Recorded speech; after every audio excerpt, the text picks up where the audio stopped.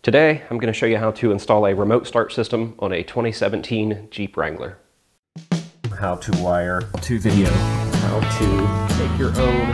How to make your own hardtop part. How to change the oil. How to fix taillight problems. How to install. How to do a complete tune-up. I'm going to show you how to do that.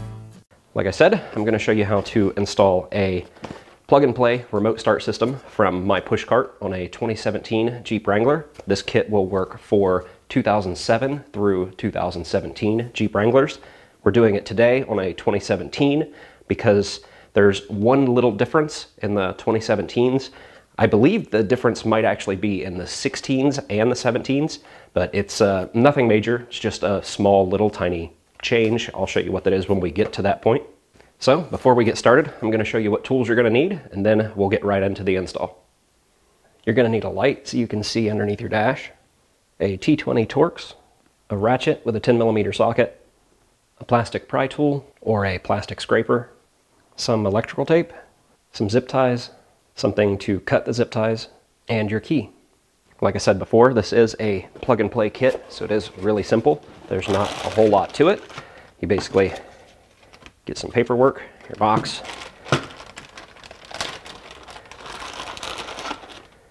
You get your T-harness is what this is called. Your Fortin module, some zip ties, and uh, some optional stuff like a hood pin and a valet switch. Okay, first thing we're gonna do is get the steering column up a little bit because we need to remove this panel here. And this is really simple. You just get in here and give it a little tiny tug. Now we have three T20 Torx screws that are holding the column clamshell or casing together. There's one right here in the center.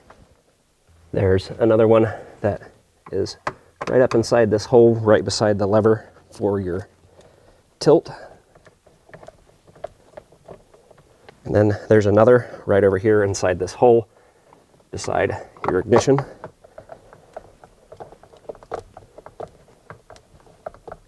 Now this is the part that I mentioned that's different for, I believe, the 16s and the 17s for this little plastic shroud slash clamshell here. The difference being on the 07 through 15, once you take those three screws out, you're able to just pop this apart. Well, on the 16s and 17s, they added a little lip for some reason that goes up into the steering wheel, which makes this a little more difficult to get off.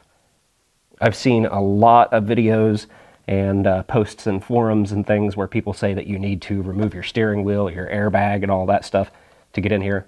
But I'm going to show you that you actually don't have to do that. It's actually relatively easy.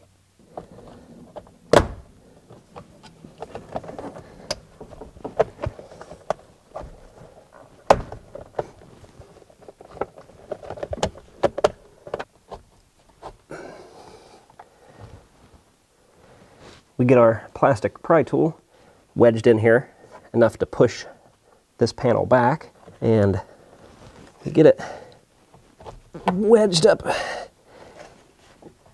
in between here just like that and and get it off. Now that we've got that removed, we're going to move around to the other side and actually get our T-harness installed. Now that we've got you around to the other side, you can see your ignition here, and then this little box is your immobilizer and we need to unplug this harness right here. You want to be really gentle. You want to kind of hold on to the immobilizer while you do this because it can break. It is kind of tricky to get in here. You don't have a whole lot of space to get your fingers in here because on the opposite side, there's a little indent that has to be pressed in.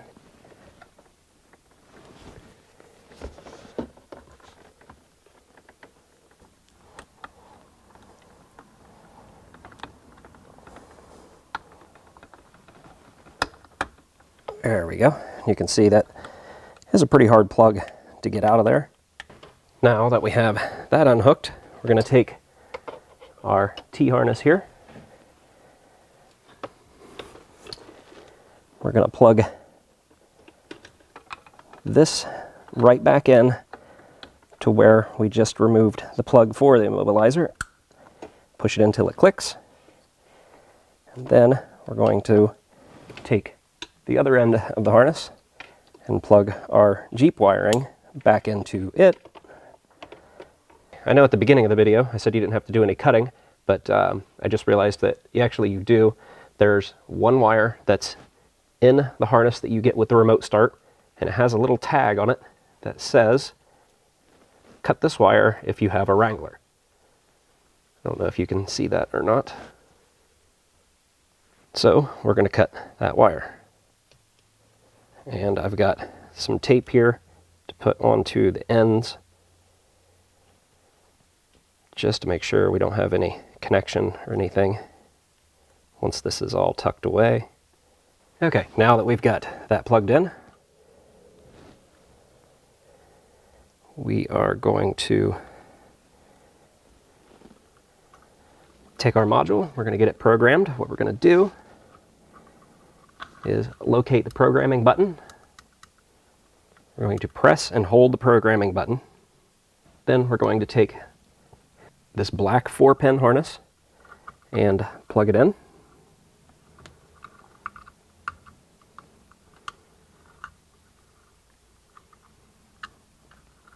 And you'll notice that, get it plugged in all the way here. Then you'll notice that we have some colors changing. And what we want to do is wait for this to cycle through and to turn all blue. Let go of the button. And then we can plug in our white 20 pin harness.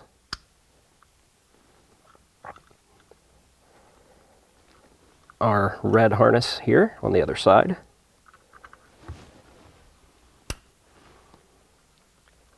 Along with the white harness. Now we have all of our connections made. Now all we need to do is put our key in the ignition and turn it to the on position. Don't start it, just turn it to the on slash run position. You should see the LEDs flashing and then we can turn the key back off.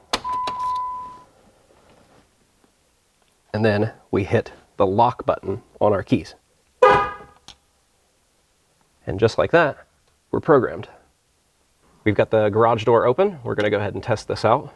All you have to do is hit the lock button three times.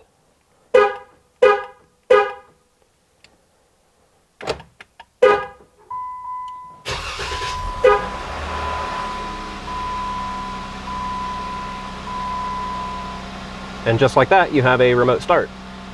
So now we can work on getting this all tucked away and everything put back together. Now we're going to take our 10 millimeter socket and remove these two 10 millimeter bolts so we can get this panel off of here. Then all we have to do is lift up on this panel and it'll come right out. The reason why we take that panel off is so that we can take our new wiring harness and remote start and get everything nice and neat and tucked away inside here. And everything is put back together.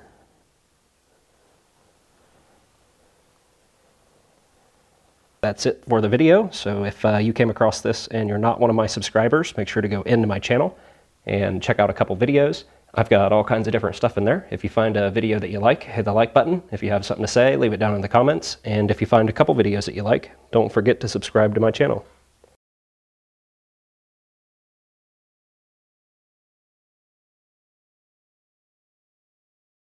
Okay, so all you have to do is hit your lock button three times.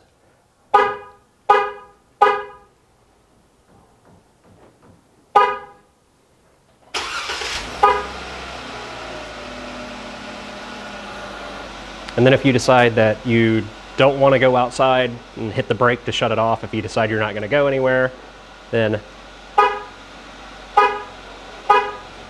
you can hit lock three times again and it will shut off.